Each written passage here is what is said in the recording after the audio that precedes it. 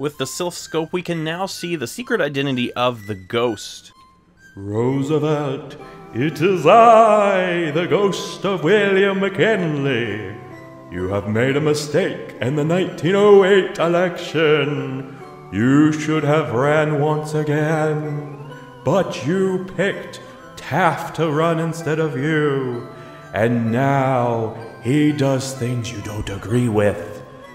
Now you must right the wrong and run against your former buddy in the 1912 election. Go, Roosevelt, right the wrongs.